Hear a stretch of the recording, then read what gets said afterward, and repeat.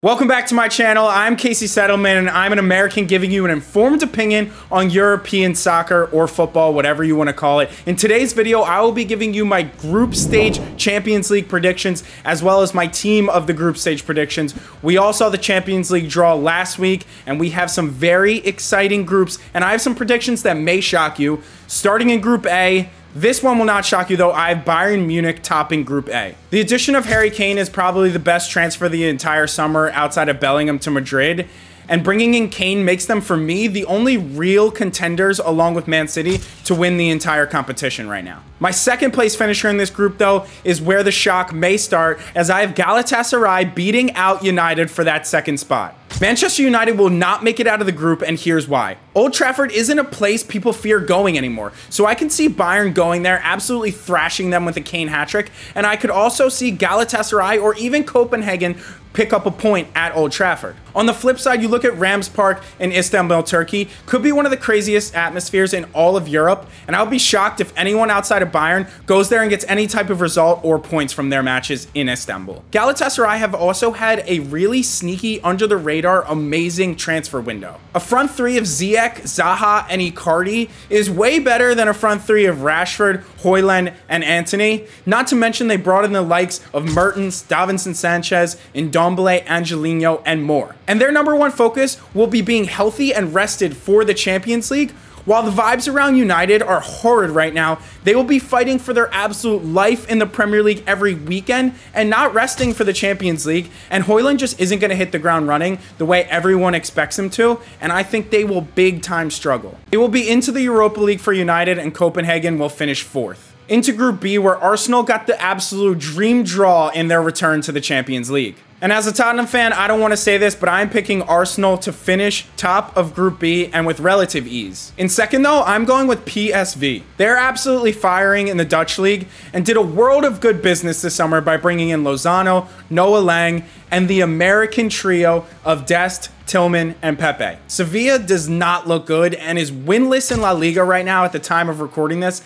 And I know it's early, but their form coupled with their obsession with the Europa League, and I have them finishing third in this group, returning to the Europa League, and maybe winning it again. Who knows? And finally, RC Lens will finish in fourth. They sold a lot of their core players that allowed them to finish so well last season, and I just don't really think they're a Champions League level side. Group B is a fun one, and I do think Union Berlin could make some noise in this group. The only thing that's really disappointing is their stadium isn't big enough to hold Champions League matches.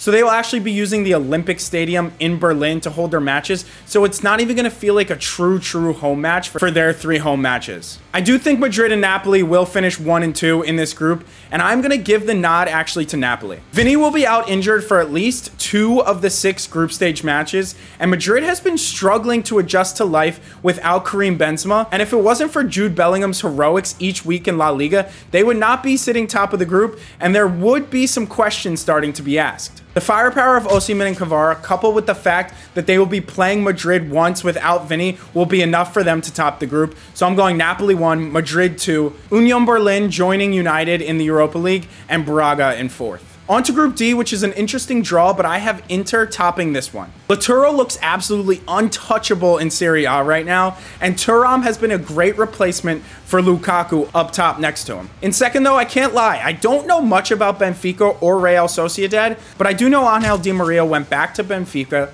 and they also have David Neres and João Mario, who are both very creative in the final third and could get Benfica enough goals to just squeeze that second spot past Real Sociedad. In terms of Sociedad, I do have them finishing third. They also have some class littered throughout their squad in Oyarzabal and Zubimendi, so I have them finishing third with Salzburg finishing in last. Group E. This is a really tough group to predict as I think every match inside of this group stage could be a complete toss-up. I think Atletico has enough talent and more importantly, enough Champions League experience to get enough gritty results as Atletico do to top this group. In second, I'm also having Lazio squeak by Feyenoord for that second place spot and have Feyenoord finishing in third. The Serie A has stamped itself as the second best league in Europe, and that goes to show in just how competitive it is, as well as in the European competitions, where you saw last year all the success that Serie A teams had. And in terms of Celtic, Losing their manager as well as one of their best players, Jota, will just be too much for them,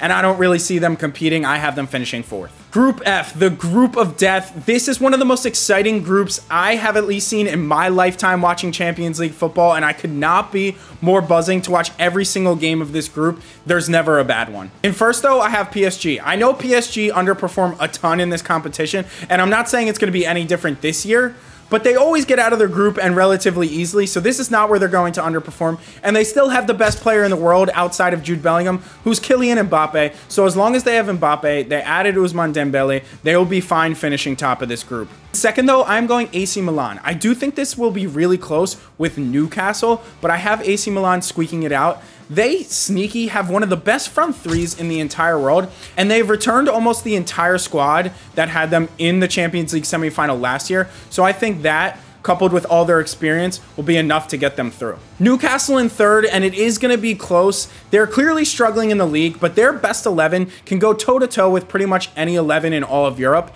And those matches at St. James are going to be absolutely bonkers. If you haven't watched the documentary on Amazon Prime, I suggest going to do it. It's very cool, and I'm excited to see Champions League football back at Newcastle. Finally, I have Dortmund coming in last in this group and I don't think it's going to be close. And it just seems like they haven't really gotten around to replacing any of Bellingham, Haaland, or Jadon Sancho, and they're increasingly getting worse every single season as Marco Reus continues to age. Group G, this is a very easy one, and I'm not even going to bother wasting your time. Man City will finish top. They're the best team in the world and got an easy draw. And RB Leipzig, I think, is also great and had a very, very good summer, replacing the likes of Nkunku and Szoboszlai, and I have them finishing second. And I don't mean to be disrespectful, but I don't really care who comes in third and fourth in this group, so you can tell me in the comments who you think. Finally, in Group H, I have Barca topping this group. Similar to RB Leipzig, I thought they had an unreal window, Barcelona, with the limitations they had in terms of spending. Being able to bring in Cancelo, Felix, Gundogan, and Oriol Romeu is unreal business without even being able to spend anything. It was very, very impressive. In second, I'm going with Porto. I'm not really sure what's going on with Shakhtar and I'm not really going to comment on that whole situation. It just, I don't know if they're not playing league football this year. I don't really know how it works, but I have Porto finishing in second. Shakhtar in third, and Antwerp coming in last. Although I do love Toby Alderweireld, and that goal he scored on the final day of the season last year was one of the most electric things I've ever seen in my life. So those are my group stage predictions. Let me know in the comments where you think I went wrong. I think my biggest call was Galatasaray over Man United, and I really think that one's going to come true. But just to recap, these are my Champions League group stage predictions. Group A, Bayern first and Galatasaray beating out United for the second spot. Group B, Arsenal first and PSV beating out Sevilla for the second spot. Group C, Napoli grabbing the top spot with Real Madrid in second. Group D, Inter finishing first in that group with Benfica in second. Group E, Atletico in first with Lazio in second. Group of death, PSG come out on top with Milan coming out just ahead of Newcastle for that second spot. Group C, City goes top with RB Leipzig in second. And finally, Group F, Barca in first and Porto in second. Moving on finally to the team of the group stage predictions. This is obviously extremely hard as one, you probably have to get the group stage predictions themselves right, and then two, who's going to play each week, injuries, this, that, and the other. But I'm going to give it my best go.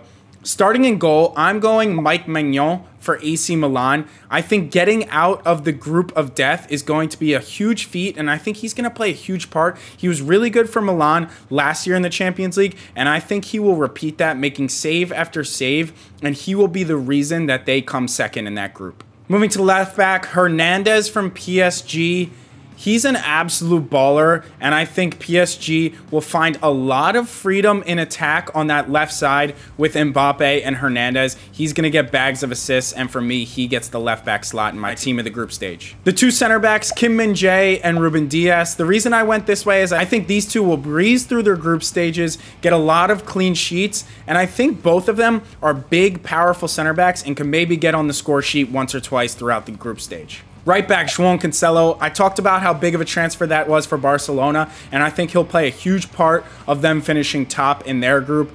In the Champions League, the most. He always does it in the league, but it seems like he always puts on a special performance time and time again in the Champions League.